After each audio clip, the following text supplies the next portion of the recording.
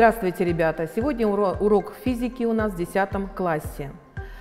О чем мы с вами будем говорить? Мы недавно прошли с вами тему электростатика, где рассматривали неподвижные заряды. Как правило, мы имеем дело с зарядами подвижными, движущимися. Даже взять любой проводник с током, и если, даже если нет проводников с током, есть, имеется кристаллическая решетка, в котором э, между ионами кристаллической решетки движутся свободные электроны. А как они движутся? Они движутся хаотично. И скорость хаотичного движения свободных электронов небольшая, 10 минус пятой степени метров в секунду. Если э, рассмотреть тепловое движение, то там скорость, естественно, намного больше, 100 км в секунду. Мы же сегодня рассматриваем с вами упорядоченное направленное движение частиц. А именно, какая же наша сегодняшняя тема? Тема – это электрический ток. Постоянный электрический ток, сила тока, условия существования электрического тока, закон Ома для участка цепи. Итак, что же такое электрический ток? Электрический ток – это упорядоченное направленное движение заряженных частиц. Проводники что являются заряженными частицами? Проводники свободные электроны являются переносчиками электрического тока. В полупроводниках это электроны свободные и дырки. В металлах это положительные и отрицательные ионы. Что же принимает за направление электрического тока?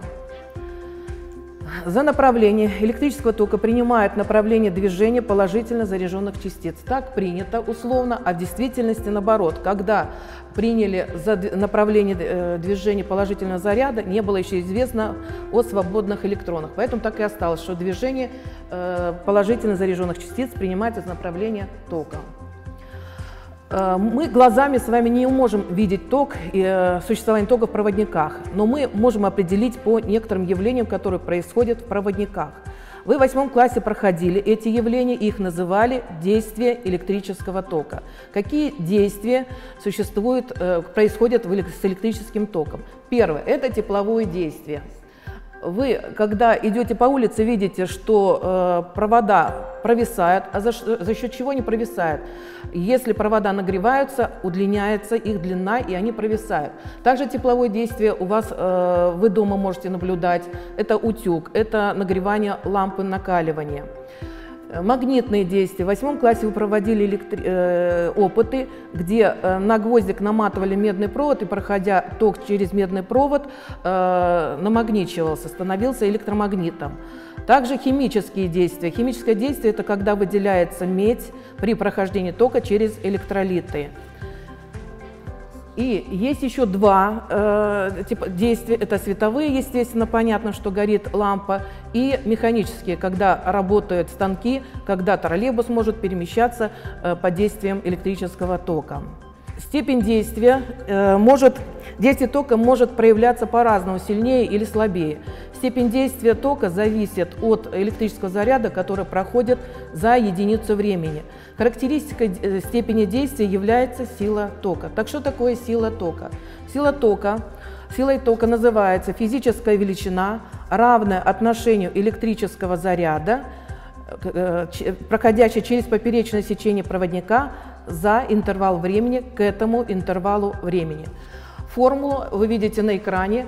Сила тока равна отношению заряда к интервалу времени.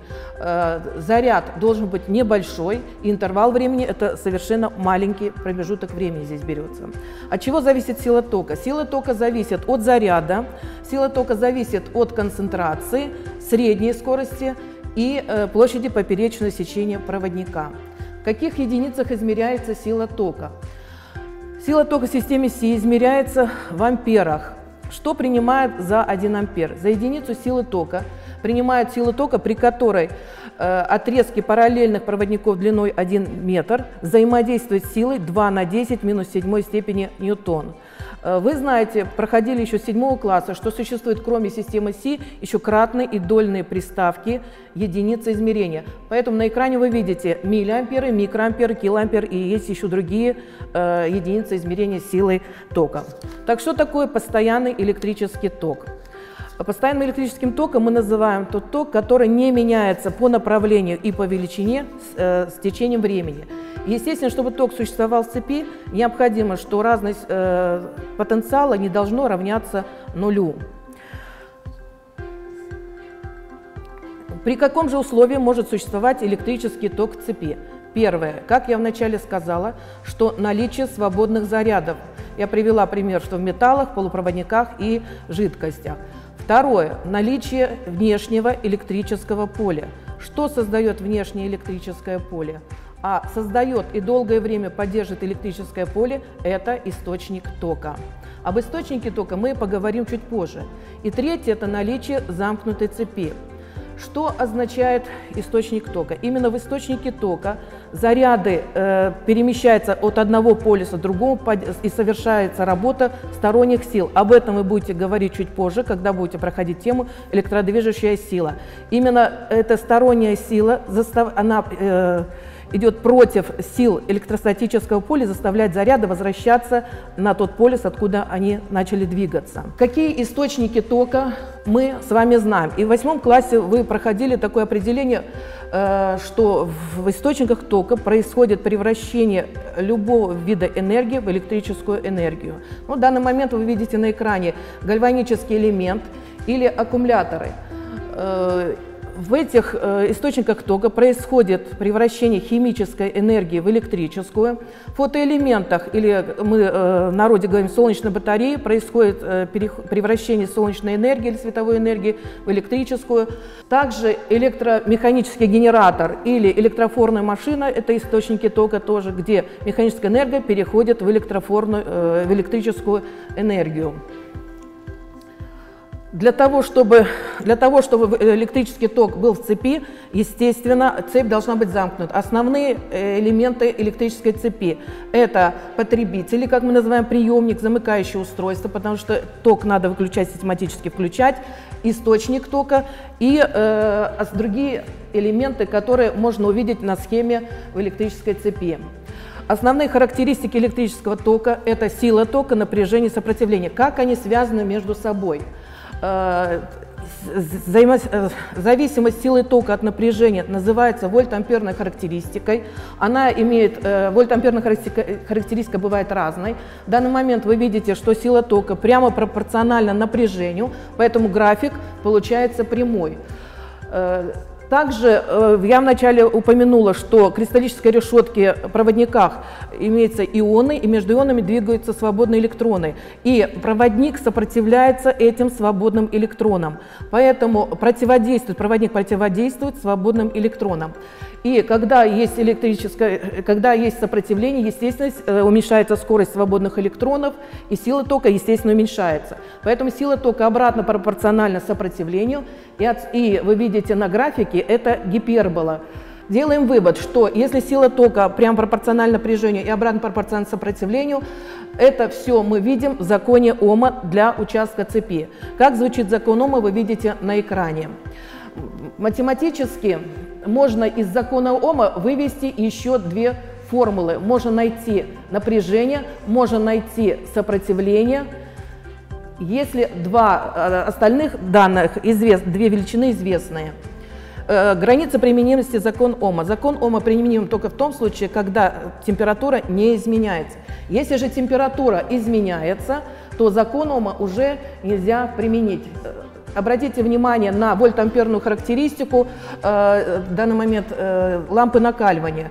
Э, здесь вы видите, что в верхней части закон Ома уже нельзя использовать. И нельзя говорить, что сила тока, что сопротивление зависит от силы тока. Ни в коем случае сопротивление зависит от свойств проводника, а именно от длины проводника, от площади поперечного сечения и удельного сопротивления.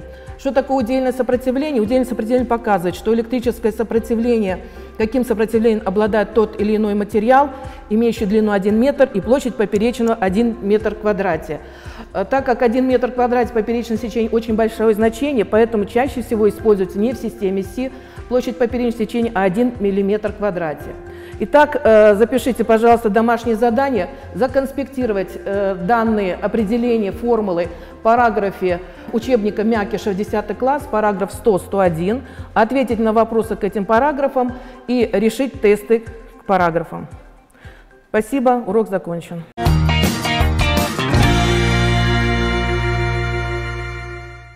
Здравствуйте, уважаемые десятиклассники!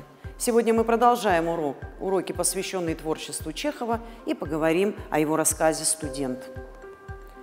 «Студент» мы будем с вами толковать как философский рассказ. Произведение это отличает черты, свойственные поздним произведениям Чехова, а именно глубокое духовное содержание, философичность. Мы находим здесь черты, притчи и проповеди – Удивляет лаконизм чеховской прозы, его умение одной деталью обрисовать характер, ситуацию, внешность человека в маленьком рассказе писателю удается сказать о большом, о смысле человеческой жизни. Рассказ «Студент» был написан Чеховым в 1894 году. Из воспоминаний его близких родственников мы узнаем, что это был его любимый рассказ, а студент – его любимым героем. В рассказе нашли отражение воспоминания детства писателя, которые были связаны с воспитанием в религиозном духе семьи, строго соблюдавшей церковные традиции. Студент, еще раз повторяю, рассказ философский. В нем поставлена проблема, которую можно обозначить одним словом, одним предложением – человек перед лицом бытия. Главный герой от чувства пессимизма, овладевающего им в начале, приходит гармония к пониманию высшего смысла жизни. В каком-то смысле этот рассказ обратен тому, о котором мы говорили на предыдущем уроке. Этой идее духовного просветления подчинена вся композиция рассказа. Главным в этом произведении является развитие внутреннего конфликта в герое. Перед читателем предстает история душевной жизни, попытка сориентироваться, найти точку опоры – которая позволит жить в гармонии с миром. Используя внутренние монологи, психологические пейзажи, мотив повторяемости событий, автор раскрывает тревожное ощущение времени героем, его поиски и обретение правды жизни. Из экспозиции рассказа мы с вами узнаем, что действие происходит накануне Пасхи, в Страстную Пятницу. Произведение открывает картина мрачной весенней природы. Погода вначале была хорошая, затем стало в лесу неуютно, глухо, нелюдимо, самой природе жутко, и оттого вечерние потемки сгустились быстрее, чем надо. Кругом было пустынно и как-то особенно мрачно. Удрученное настроение студента передает не только психологический пейзаж, но и последующий внутренний монолог – героя одолевает мысли о мрачности, пустынности окружающего мира, о лютой бедности, о голоде, о чувстве гнета. В его душе назревает конфликт, ощущение пустоты внутри себя. Он вспоминает, как дома его мать, сидя в синях на полу, босая, чистила самовар, а отец лежал на печи и кашлял. По случаю Страстной Пятницы дома ничего не варили, и мучительно хотелось есть. И теперь, пожимаясь от холода, студент думал о том, что точно такой же ветер дул и при Рюрике, и при Ане Грозном, и при Петре, и что при них была такая же лютая бедность, голод, такие же дырявые соломенные крыши, невежество, тоска, такая же пустыня, кругом мрак, чувство гнета, все эти ужасы были, есть и будут. И от того, что пройдет еще тысячи лет, жизнь не станет лучше. Центральное место в рассказе занимает беседа Великопольского а, с крестьянками, матерью и дочерью у костра. Студент рассказывает им один из наиболее драматичных эпизодов э, Евангелия, историю того, как один из э, 12 апостолов, Петр, трижды отрекся от своего учителя в ночь, когда тот был предан э, в руки иудейским первосвященникам. Рассказ студента об отречении Петра не случайен. Акцент в рассказе сделан на тяжелое душевное состояние ученика Христа, видевшего муки своего учителя и переживающего за свое отречение. Слова студента находят отклик в сердцах Василисы и Лукерьи. По щекам Василисы потекли слезы, Лукерья тоже едва сдерживает боль. Живой эмоциональный отклик добрых женщин поразил студента – настроил его на мучительные раздумья, результатом которых стало душевное озарение. Правда, оно происходит не сразу, а чуть позже, когда Иван уже расстается со вдовами. Библейский сюжет расширяет художественное время и художественное пространство произведения. Обратим внимание в тексте на явные параллели между евангельскими реалиями в рассказе студента и деталями обстановки. Это следующие повторяющиеся образы. Работники тем временем развели среди двора огонь, потому что было холодно и грелись, звучит в рассказе студента. Иван тоже подошел к костру женщин погреться. Точно так же в холодную ночь грелся у костра апостол Петр, говорит он. Все это вызывает невольное сопоставление Ивана Великопольского с апостолом Петром, а вдов Василис и Лукери с Марфой и Марией, сестрами праведного Лазаря. Евангельская история о страданиях и мучениях Христа, предательстве Иуды, отречении Петра, его слабости, его слезах невольно ассоциируется с состоянием самого студента. Он тоже на, на какой-то момент, подобно Петру, струсил, разуверился, отчаялся, потерял правду, потерял веру в правду жизни, но вновь обрел ее. Наступает кульминация. Вокруг героя ничего не изменилось. Писатель не случайно возвращается к той же теме непогоды, ненастья, дул жестокий ветер, в самом деле возвращалась зима, и не было похоже, что послезавтра Пасха. Он подчеркивает, автор, э, этим, что переломное событие происходит внутри, в душе героя, не в окружающем мире. Иван пытается установить связь между евангельской историей и тем чувством, которое она вызвала в сердцах двух женщин – Наступает развязка внутреннего конфликта. Прошлое, думал он, связано с настоящим непрерывной цепью событий, вытекавших одно из другого. Средством соединения этой цепи служат слезы Василисы, появившиеся потому, что Петр ей близок, и потому что она всем своим существом заинтересована в том, что происходило в душе Петра символичный образ костра в рассказе. Упоминаемый в самом начале огонь горит на вдовьих огородах, но ему не в силах разогнать ночную мглу. Затем герой подходит к этому костру, чтобы согреться, но не столько от тепла его, сколько от тепла женщин, сидящих около него. Вспомним мягкую улыбку и последующие слезы Василисы. В то же время этот костер напоминает нам костер евангельский. Огонь евангельского костра озарил душу, Ивана, становясь образом, символом его душевного просветления. Молодой человек открывает для себя удивительные вещи. Правда и красота, направлявшие человеческую жизнь там, в саду, во дворе первосвященника, продолжались непрерывно до сегодня. И, по-видимому, всегда составляли главное в человеческой жизни и вообще на земле. В этом небольшом рассказе автор сумел привести героев и читателей к мудрому философскому осмыслению жизни. Следование правде, красоте, библейским истинам и ценностям придает человеку веру, стойкость, помогает осознать смысл своего существования. Человек перестает быть одиноким, потерянным в огромном мире.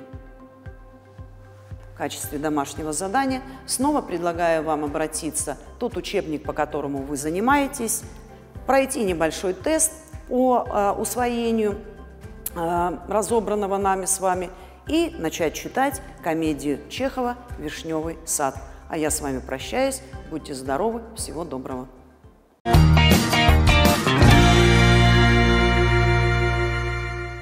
Hello students, I am glad to see you again.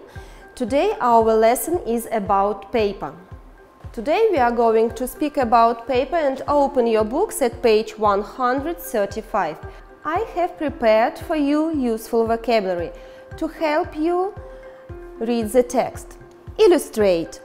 Make clear by providing examples, usually pictures or photographs. Glossy. Having a smooth, gleaming surface. Matte a surface with little or no shine. Thick, to have a large distance between the two opposite sides. Chopped, cut into pieces. Blank, чистый. Paperboard, a cardboard suitable for making posters. Tear out, remove using force. Shoe cabinet, a piece of furniture used to store our shoes. Hole punch, a tool for making holes in paper. Wrap, to fold paper or cloth around an object tightly covering it completely. Harvested, the process of gathering crops. Okay, let's look through the text and read it with me. Paper is all around us.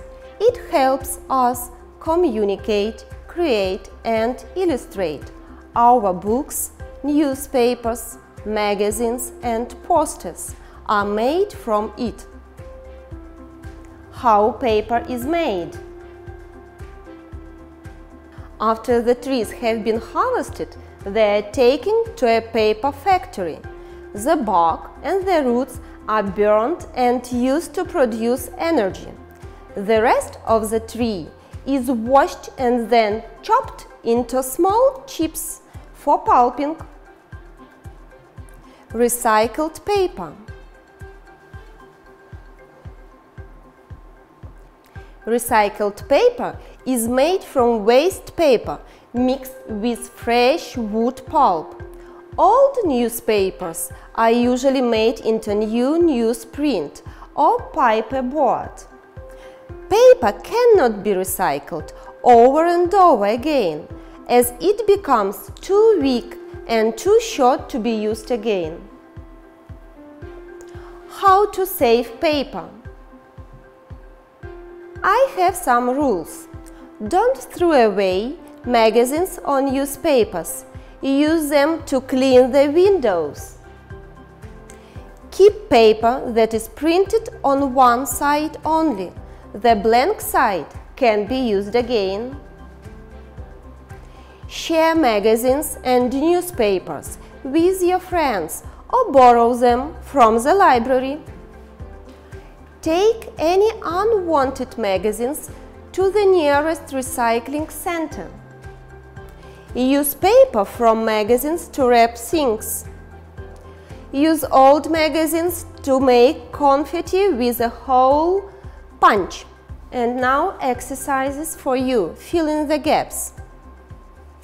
Paper can be or thin or Paper can be glossy or matte, thin or thick. Paper helps us communicate create and paper helps us communicate, create and illustrate. After the trees have been, they are taken to a paper factory. After the trees have been harvested, they are taken to a paper factory. The side can be used again. Which side? The blank side can be used again. And now I want you ask and answer some questions with me. Let's begin. Where are trees taken after they have been harvested? They are taken to a paper factory. What is recycled paper made for? It is made from waste paper mixed with fresh wood pulp. I want you to make your own questions to your friends and then answer them. Your home task for the next time is Imagine you work in a paper factory. Explain visitors how paper is made and suggest ways to save paper. It is very important nowadays. Save our planet. Make your presentations. Okay, thank you for attention. I'll be glad to see you again. Goodbye.